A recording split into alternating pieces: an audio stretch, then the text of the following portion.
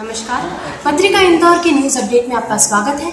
मैं हूँ तेजरी आपके साथ, और आज हमारे साथ है इंदौर महिला थाना की टीआई ज्योति शर्मा जी। आज हम उनसे जानने वाले हैं कि किस तरह से लड़कियों को लेकर सुरक्षिता रखी जा रही है, किस तरह से अलर्टनेस रखी जा रही है। मैम, शहर में किस तरह से लड़कियों के लिए अलर्ट रहने के लिए काम किया जा रहा है, किस तरह से उनकी सुरक्षा के लिए काम किया जा रहा है?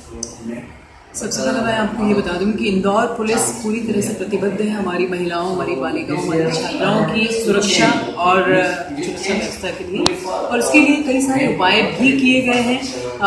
जगह जगह पे आपने देखा होगा हमारे शहर में अगर पचास थाने हैं तो पचास एफ़ जो फास्ट रिस्पॉन्स व्हीकल करके हंड्रेड डायल खड़ी है। वो है, अगर किसी भी तरह की कोई प्रॉब्लम है तो आप हंड्रेड डायल करें। तत्काल आपकी सहायता के लिए within five to seven eight minute वो पहुँचती है।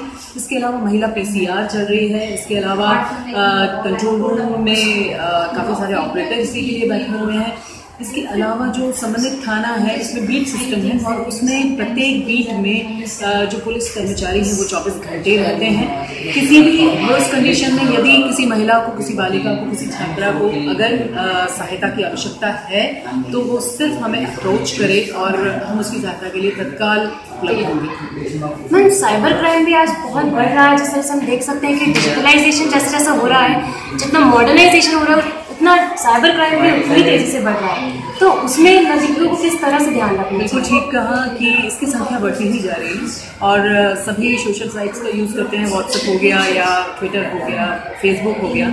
और इसमें हैकिंग भी बहुत ज़्यादा होती है मिसयूज़ भी बहुत ज़्यादा होता है फेक आईडी बना ली जाती है। इस तरह का अगर कोई भी क्राइम कमिट हुआ है तो मैं तो यही कहना चाहूँगी कि तत्काल आप इंदौर साइबर सेल जो है पलासी थाने के ऊपर है वहाँ कंप्लेन करें या इंदौर क्राइम ब्रांच जो रीगल स्क्वायर पे है वहाँ कंप्लीट करें। इसके अलावा अगर आप फ़ोन यूज़ कर रहे हैं और फ़ोन में अगर आपको कोई अनोन कॉल्स आ रहे हैं वल्गर कॉल्स आ रहे हैं किसी भी तरह की अगर कोई प्रॉब्लम फ़ोन से रिलेटेड है तो आप वी केयर फॉर यू में शिकायत कर सकते हैं। वो भी रीगल स्क्वायर पे जो डी आई जी कार्यालय डीआईजी सर का कार्यालय है, वहाँ पर वी केयर फॉर यू करके यूनिट है और इंदौर पुलिस की तरफ़ से वो काम करता है। वो आपकी हेल्प तत्काल करेगा। हम देख सकते हैं कि आज हमारे जितने भी करीबी हैं, जितने भी नज़दीकी लोग हैं, वो ही हमारी लड़कियों के साथ गलत हरकतें करते हैं।